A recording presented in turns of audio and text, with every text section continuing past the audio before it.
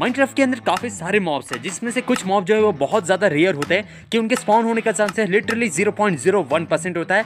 आज हम ऐसे ही कुछ मॉब्स का जो है कलेक्शन करने वाले हैं। तो अगर तुम लोग वीडियो पे नए हो तो वीडियो को लाइक कर देना एंड चैनल पे नहीं तो चैनल सब्सक्राइब ज़रूर कर देना और नोटिफिकेशन को ऑल सेलेक्ट करना। चलो शुरू करते हैं। तो सबसे पहले मुझे सारे मॉब्स को रखने के लिए एक बड़ा सा चेम्बर चाहिए हुआ, जिसमें मैं अपने सारे रेयर मॉब रखूँ।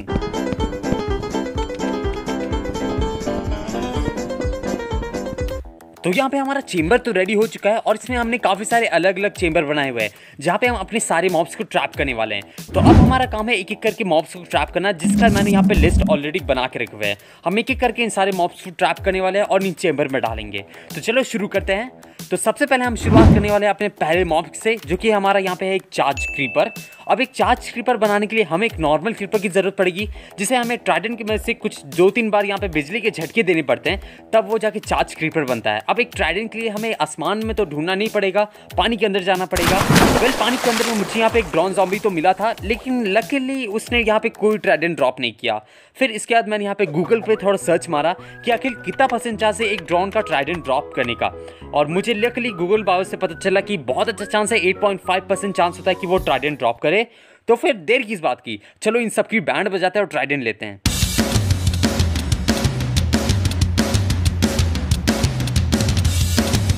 ओके तो भाई प्लीज़ ट्राइडन दे देना मैं तब से कोशिश कर रहा हूँ यहाँ पे काफ़ी सारे ड्रॉन्स ओ भाई मिल गया मिल गया मिल गया। ओ भाई इसने ट्राइडन ड्रॉप कर दिया है। तो हमें यहाँ पे ट्राइडन मिल चुका है। अब इस पर इंचांट लगाना है। तो यहाँ पे मैं दो इंचांट के बारे में सोच रहा हूँ एक लॉयल्टी और एक चैनलिंग हम लगाएँगे। तो इसके लिए हम सबसे पहले विलेज के अंदर आते हैं। और मेरा जो पहला इंचांटमेंट था ना वो तो कमाल का था क्योंकि हमें यहाँ पे पहली बार में ही विलेजर ने यहाँ लॉयल्टी टू दे दिया था जो कि काफ़ी अच्छा लक है। लेकिन भाई चैनलिंग के लिए मुझे लगता है थोड़े पापड़ बेलने पड़ गए।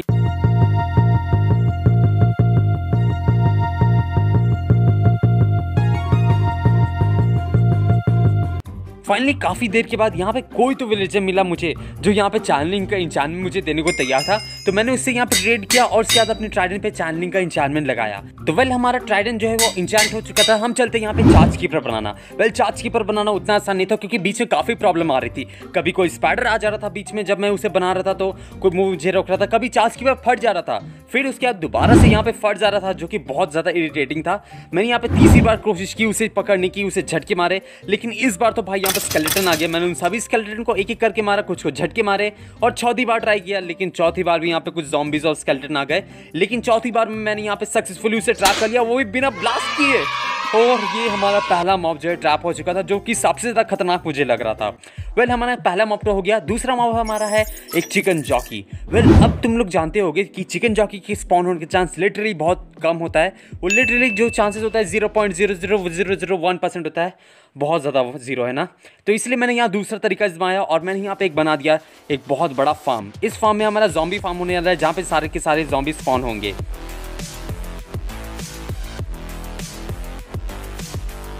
वेल हमारे यहाँ पे जॉम्बी फार्म तैयार है। इसमें मैंने एक अलग चेम्बर बनाया जहाँ पे सारे के सारे चिकन जॉकी आएँगे और हमारे जो अडल्ट वाले जो जॉम्बीज होंगे वो एक अलग चेम्बर में जाएँगे। तो हमें यहाँ पे थोड़ा सा एफ़ की करना पड़ेगा थोड़ा और एफ़ की करना पड़ेगा और थोड़ा और एफ़ की करना पड़ेगा। Much, much later. अब इतना ही एफ़ की कर लिया है तो भाई यहाँ पे कुछ जॉम्बीज तो आएँगे ही और हमें यहाँ पे कुछ चिकन जॉकीज तो मिल ही रहे थे लेकिन उतना कुछ खास नहीं था। ये सब जॉकी बेकार थे लेकिन अचानक से पूरा बीचों बीच निकलता है हमारा यहाँ पे विलेजर जॉकी जो कि मुझे चाहिए था, क्योंकि ये काफ़ी रेयर होता है। तो चलो एक एक करके इन सबको मारते हैं। और इस विलेज जॉकी को अपने बेस पे लेके चलते हैं, लेकिन इसे ले जाना बहुत आसान नहीं है। बहुत हार्ड है भाई, क्योंकि ये बार बार अटैक कर रहा है। वेल इस विलेज जॉकी को यहाँ पे है ना ट्रैप करना बहुत ज़्यादा मुश्किल हो रहा था, क्योंकि यार मैं बहुत मार रहा था भाई। तो फाइनली हज़ारों कोशिशों के बाद हमने इसे ट्रैप कर दिया है और हमारा एक प्लेजर जॉकी हमारे पास आ चुका है। तो हमारे यहाँ पे दो मॉब्स हो चुके हैं। चलते हैं हम नेक्स्ट मॉब की तरफ़, जो कि हमारा एक पिंक शीप है। अब पिंक शीप के स्पॉन होने के चांसेस भी काफ़ी रेयर होता है, लेकिन जैसे जैसे अपडेट आ रहे हो, रे, उसके जो स्पॉन होने का चांसेस और ज़्यादा बढ़ चुका है। तो हम यहाँ थोड़ा सा एफ़ कर लेते हैं। आई होप कि वो स्पॉन हो जाए यहाँ पे। चलो देखते कितना देर में स्पॉन होती है। ऑलमोस्ट मैंने यहाँ पे काफ़ी एफ़ की कर लिया, लेकिन अभी तक एक भी पिंक शिप स्पॉन नहीं हुई। पता नहीं भाई ये कितना ज़्यादा रेयर है। मैं तो अपने बेस की तरफ़ चलता हूँ, और शायद मुझे वहाँ पे कुछ कुछ मिल जाए। मैं तो यहाँ पे भाई पिंक शिप तो ऐसे ही भी नहीं मिल रही है। क्या करूँ? एक मिनट वो क्या है? भाई पिंक शिप भाई वो नेचुरली स्पॉन हुई लिटरली वो नेचुरली स्पॉन हुई। एक बार तुम लोग रिवाइंड देखो। देखो यहाँ पे देखा? तो भाई वो लिटरली नेचुरली स्पॉन हुई पिंक शिप है। मैंने यहाँ पे कोई मॉड यूज़ नहीं करा डायरेक्ट वो स्पॉन हुई है। और भाई ये पिंक ही है ना? भाई ग्रे तो नहीं लग रही है ना भाई? सच में पिंकशिप मिल चुकी है। तो चलो हमारे यहाँ पे पिंकशिप भी ट्रैप हो चुका है और इसी तरह से हमने यहाँ पे तीन मॉब को ट्रैप कर लिया है। चलते हैं हम अपने नेक्स्ट मॉब की तरफ़ में। और ये जो हमारा नेक्स्ट मॉब है ना, ये कोई मामूली मॉब नहीं है, क्योंकि ये है हमारा ब्राउन मशरूम काव अब एक ब्राउन मशरूम काव में पाने के लिए बहुत ही इंटरेस्टिंग कार्य है। हमें एक रेड मशरूम काव को झटके मारने पड़ते बिजली के, जिससे वो ब्राउन मशरूम बनता है। वेल ये नेचुरली भी स्पॉन होता है, लेकिन नेचुरली बहुत हार्ड है इसे ऑक्यूपाई करना। इसलिए मैंने यहाँ सोचा उसे झटके मार के ही ले लेते हैं। तो गाइज़ यहाँ देख सकते हो कितना बड़ा मशरूम भाई मैं ना यहाँ पे हमें मिलने वाले अपने मशरूम का तो चलो उसे चलते हैं, यहाँ पे हम झटके मारते हैं और एक मिनट, मेरा ट्राइडेंट कहाँ है? ओह, फिर से नहीं।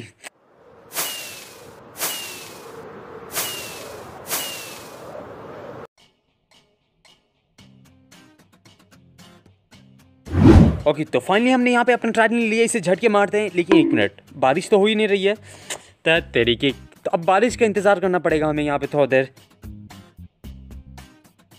तो फाइनली इतना इंतज़ार के बाद बारिश तो हो चुकी है, और भाई हमें मॉशरूम का भी मिल चुका है ब्राउन वाला। चल भाई बैठ जा बैठ जा। एंड फाइनली हमारे यहाँ पे जो जर्नी है, वो कंप्लीट हो चुकी है ब्राउन मशरूम काव को पकड़ने का।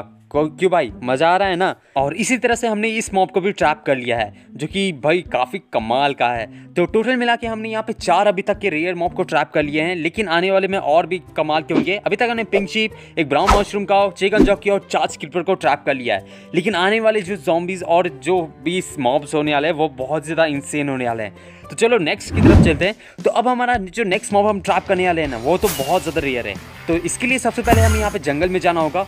जंगल के अंदर मैं आया हूँ तो तुमने पता चली गया होगा। मैं यहाँ पे आया हूँ एक ब्राउन पांडा को ढूँढने। वेल मुझे पांडा मिल गया, लेकिन एक मिनट ये ब्राउन पांडा तो नहीं है। सॉरी गाइस मुझे तुम्हें मारना ही पड़ेगा भाई बड़ी सॉरी ओके तो पाँच अलग अलग जंगल घूमने के बाद और माइनक्राफ्ट के सभी अलग अलग तरह के पैंडास का खून करने के बाद और उन सबको मासूम की हत्या करने के बाद मुझे यहाँ पे फाइनली एक ब्राउन पांडा मिल ही गया। वेल भाई तुझे मैंने बहुत ढूंढा। पता नहीं कहाँ कहाँ ढूंढा, लेकिन फाइनली तो मुझे मिल गया और इसी तरह से हमारा मिल चुका है ब्राउन पांडा लेकिन इसे नदर में ले जाना थोड़ा मुश्किल हो रहा था। क्योंकि तो भाई नदर में रास्ता थोड़ा छोटा बना दिया था। कोई बात नहीं, हमने इसे यहाँ पर ट्रैप कर लिया है। लेकिन निधन में थोड़ा सा मुश्किल हुआ था, लेकिन फाइनली हम इसे ले ही तो आ गए हैं। तो इसी तरह से हमारा ब्राउन पांडा तो ट्रैप हो चुका है। नेक्स्ट मॉब की तरफ़ चलते हैं। तो हमारा नेक्स्ट मॉब लिस्ट में है, वो बहुत ही ज़्यादा रेयर है, क्योंकि एक ब्लू ऑसिलॉटल है। अब तुम्हें पता है माइंड्राफ्ट में सारे के सारे ऑसिलॉटल तो नेचुरली स्पॉन होता है, लेकिन ये ब्लू वाला जो थोड़ा ढीर होता है कि वो स्पॉन ही नहीं होता है। तो चलो इसे स्पॉन करते हैं। उसके लिए हमें सबसे पहले एक छोटा सा इसका फार्म बनाना पड़ेगा। A few moments later. Okay तो हमने यहाँ पे एक ऑसिलोटल फार्म बनाया है, जहाँ पे हम सारे के सारे ऑसिलोटल ब्रीड कराएँगे। एंड होप करते हैं कि यहाँ पे हमारी एक नेचुरली स्पॉन ब्लू ऑसिलोटल मिल ही जाए। तो चलो देखते हैं इसमें कितना टाइम लग सकता है।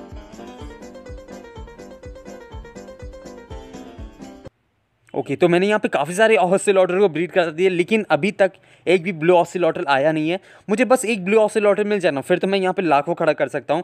लेकिन ये जो पिंक वाले ऑसिलॉटर है ना, इनका चांस भाई बहुत ही ज़्यादा मस्त है। ये बार बार स्पॉन हो जा रहे हो और येलो वाला भी स्पॉन हो है, लेकिन एक मिनट मिल गया मिल गया अभी वो ब्लू ऑसिलॉटर है भाई नेचुरली स्पॉन हो गई ये ब्लू ऑसिलॉटर इसे पकड़ लेते हैं जल्दी से। ओके ओके ट्रैप हो चुका है तो यस हमने यहाँ पे ब्लू ऑसिल को भी ट्रैप कर लिया है और इसी तरह से हमारा जो है अगले नेक्स्ट मॉब भी हो चुका है। लेकिन एक मिनट मैंने इसके लिए एक्वेरियम तो बनाया नहीं है, बेचारी रहेगी कहाँ?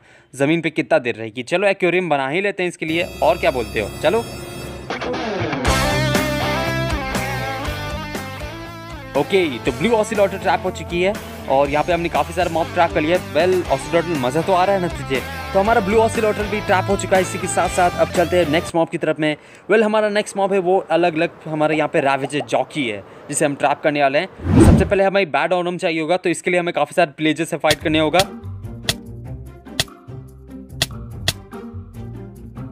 वेल well, पिलेजर के यहाँ पे आउटपोस्ट में मुझे यहाँ पे कुछ एलेज मिल गए जो कि काफ़ी रेयर माने जाते हैं। क्योंकि ये जल्दी मिलते नहीं है तो मैंने सोचा इन्हें ले लेता हूँ, लेकिन एक मिनट रुको। यहाँ पे आ चुका है प्लेजर का कैप्टन और इसी तरह से हमें मिल चुका है बैड ओनम का इफ़ेक्ट अभी भाई, तू कहाँ से आ गया हंगर इफ़ेक्ट देने के लिए? भाग यहाँ से। पता नहीं इन भूखे नंगो कौन छोड़ देता है। तो चलो, इन एलूस को लेके चलते हैं यहाँ पे, लेकिन एक प्लेजर रह गया है। तो चल भाई, तुझे बाय बाय तो ओके तो हमारे यहाँ पे जो मैंने यहाँ पे एलिस को तो ट्रैप कर लिया है। अब चलते हैं यहाँ पे हम अलग अलग विलेज में रेड कराने के लिए, ताकि हमें वहाँ पे जो है राविजर का जॉकी मिल सके।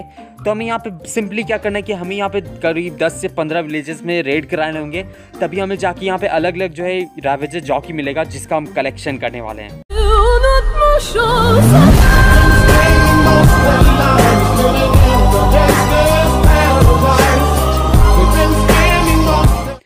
तो फाइनली मैंने यहाँ पे जब रेड करा रहा था ना तो भाई कैसे पता नहीं, यहाँ पे अचानक से यहाँ पे एक स्पाइडर जॉकी आगे स्केलेटन के साथ में, जो कि और भी ज़्यादा रेयर मुझे माना लगता है ऐसा। मैंने इसे जो है बोर्ड के अंदर ट्रैप करने की कोशिश किया, लेकिन भाई ये बोर्ड में फिट ही नहीं हो रहा था, पता नहीं क्या प्रॉब्लम हो रही थी।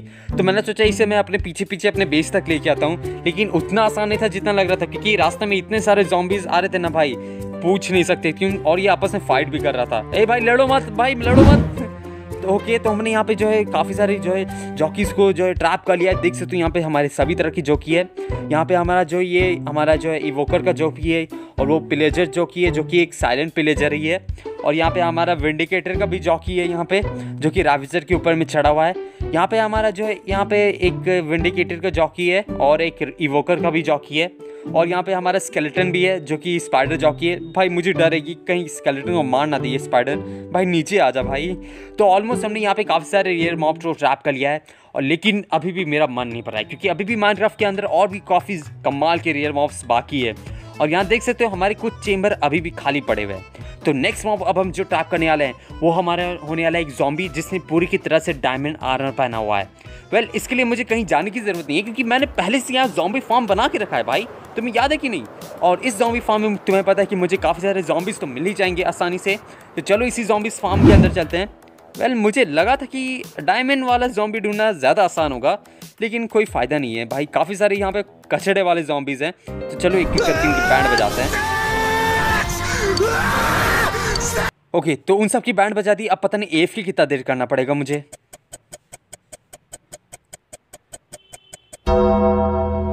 अट्ठारह घंटे पैंतीस मिनट छत्तीस सेकेंड। इतना घंटे एफ़ की करा मैंने और आई होप कि मुझे डायमंड वाला जॉम्बी मिल जाए।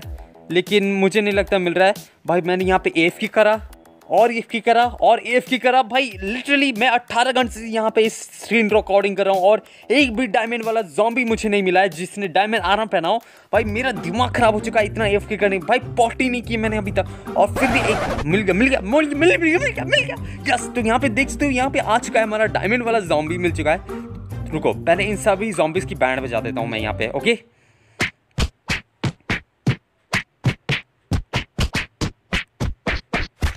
ओके तो हमारे यहाँ पे आप मिल चुका है हमें ये वाला डायमंड वाला जॉम्बी जो कि भाई मैं इसकी बहुत इंतज़ार कर रहा था। अट्ठारह घंटे से भी ज़्यादा टाइम लग गया इसे ट्रैप करने में, लेकिन हमने इसे ट्रैप कर दिया। तो अब बस बचा है दो मॉब्स जिसे हम ट्रैप करने वाले हैं। दो कमाल के मॉब्स जिसे हम ट्रैप करेंगे और चेम्बर के अंदर डालने वाले हैं। तो सबसे पहले हमारा जो पहला मॉब हम ट्रैप करेंगे, वो हमारा बहुत आसान मॉब है, आसानी से मिल जाता है, जो कि एक स्केलेटन हॉर्स है। पता नहीं, आसानी से मिल जाता है, बहुत लोग कहते हैं। और दूसरा है एक जॉकी जिसने पूरा इंचांट वाला डायमंड आर्मर पहना हुआ है। तो जॉकी के लिए हमें दोबारा से अपने वही फार्म में जाना पड़ेगा। और क्योंकि मैंने वहाँ पे जॉकी फार्म भी बनाया हुआ है वेल well, जॉकी फार्म में मुझे यहाँ पे काफ़ी सारे जो है जॉकी तो दिख रहे हैं लेकिन किसी ने भी यहाँ पे आर्मर नहीं पहना हुआ है भाई। एक चेन आर्मर है।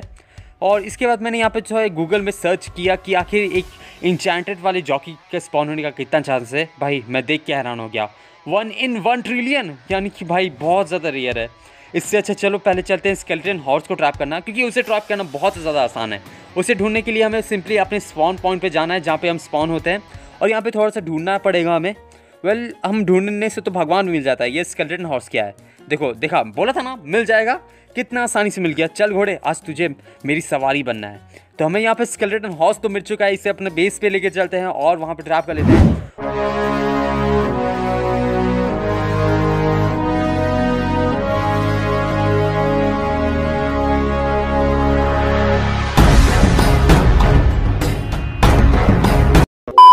फाइनली हमारे यहाँ पे स्केलेटन हाउस भी आ चुका है और हमने इसे ट्रैप कर लिया है। अब चलो देख लेते हैं वहाँ पे हमारा फार्म में क्या हाल चल रहा है वहाँ पे। क्या कोई जॉकी स्पॉन हुआ कि नहीं इंचार्जर में आर्मर के साथ? कल भाई, यहाँ पे कोई जॉकी स्पॉन नहीं हुआ और मुझे लगता है कि अब मुझे यहाँ पे दोबारा से एफ़ करना पड़ेगा। लेकिन उस चीज़ का मैं यहाँ पे स्पीड रन नहीं दिखाऊँगा क्योंकि एफ़ कर करके मैं बोर हो चुका हूँ। एफ़ करो और एफ़ करो और सिर्फ़ एफ़ करो, इससे बेटर कि तुम लोग कुछ और देख लो यहाँ पे।